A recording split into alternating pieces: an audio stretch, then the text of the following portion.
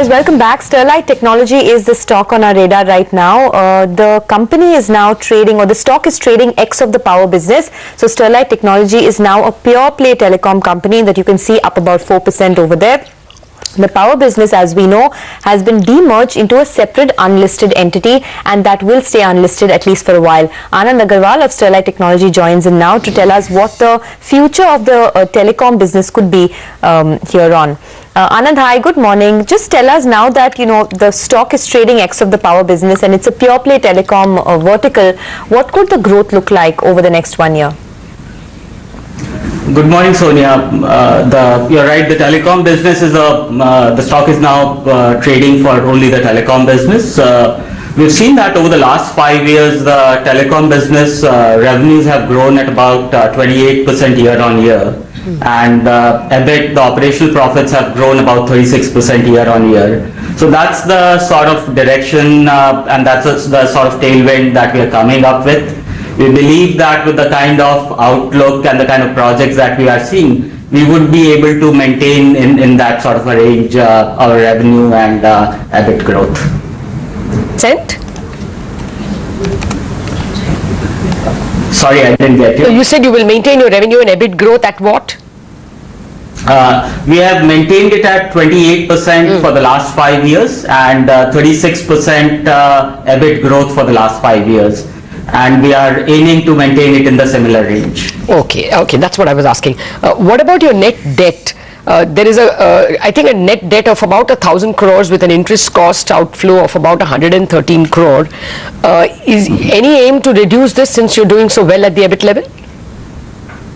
Uh, clearly, uh, there is the debt that we have is slightly higher on account of acquisition that we did last year.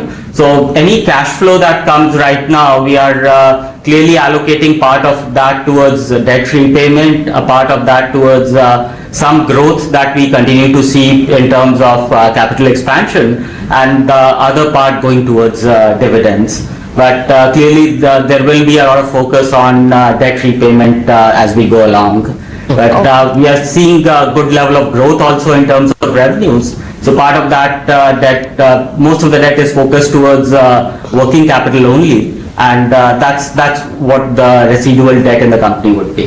So I just wanted uh, two more uh, comments on the return ratios. Your ROE, return on equity, stands at 22%, and the return on capital employed is at 18%. You did mention in the conference call that it could see an upward trend going ahead, but can you tell us what exactly is the internal target that the company has, both on ROEs and ROCE?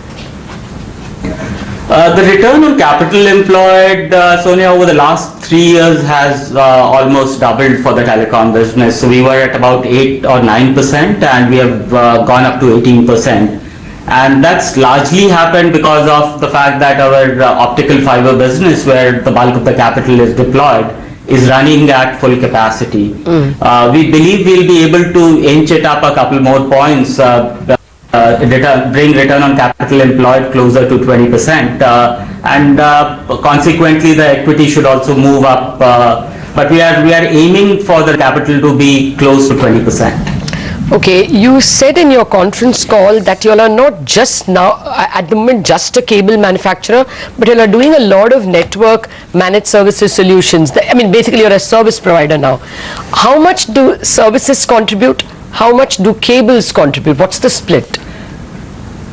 Sure, uh, Latha, we are uh, uh, pretty much now an end-to-end provider. We actually start off with uh, basic silicon, convert it into glass, optical fiber, then cables, and then do the solutions. And with the acquisition of a software company, we are actually now doing end-to-end from silicon to software. Mm. So uh, from that perspective, uh, the the products business, which is essentially the glass, the fiber, and cable, Last year was about 75% and uh, services and software was about 25% and we believe that proportion would uh, grow year on year because the order book proportion is more on the services end. So will that improve margins then? What are the margins now as of now and what will it be in FY 17-18 as services increase?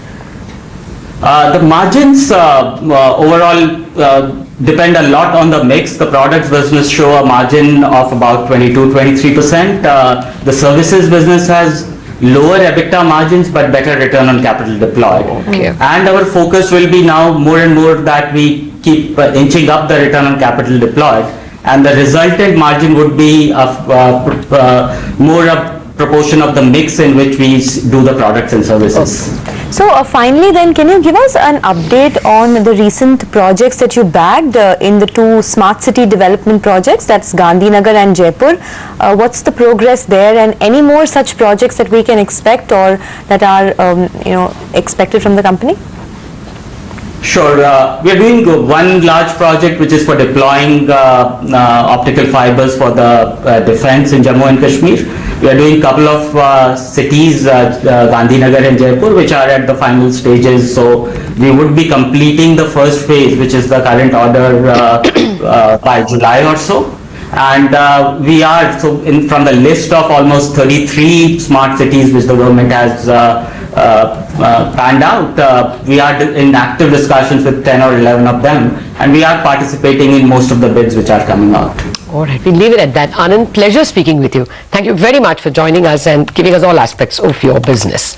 Well, we want to veer back to the markets for to answer one uh, quiz that might be, uh, you know, puzzling all of you. Yesterday and today, while SBI